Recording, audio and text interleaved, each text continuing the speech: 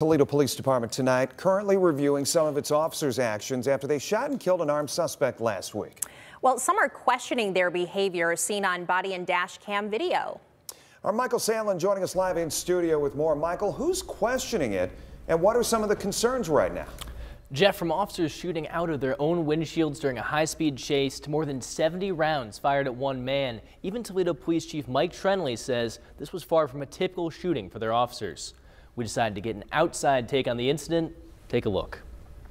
Lauren Bonds is the executive director of the National Police Accountability Project, a part of the National Lawyers Guild created to protect the human and civil rights of individuals in their encounters with law enforcement. We really focus on eliminating police violence by holding police accountable through civil rights uh, litigation. And after watching clips from Sunday's incident, moments like this left Bonds a bit surprised. I, I, think the firing shots from inside the vehicle is, is pretty unusual. At that moment, the man the officers were chasing, 33-year-old murder suspect Albert Alderman, had just waved a gun at them. Bond says police certainly have the right to open fire on suspects in dangerous situations like this one, but she says in this particular instance, there was more to consider. You are in a residential area. Um, if you're shooting through um, glass in your own vehicle, there's a really high chance that a bullet will ricochet and hit a bystander or another officer. Bonds called that moment a red flag. But what about the number of shots fired? According to TPD, Alderman was hit 35 times and 73 shots were fired.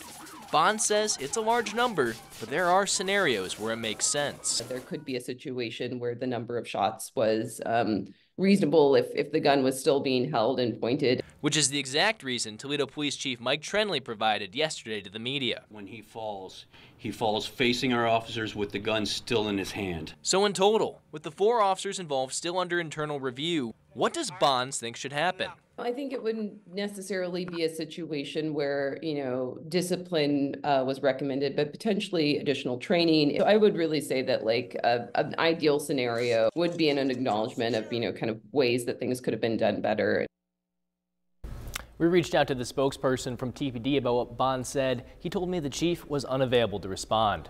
Now, right now, we have no timeline for when the police department's internal review will be complete, but once it's done, they still have to face the Firearm Review Board.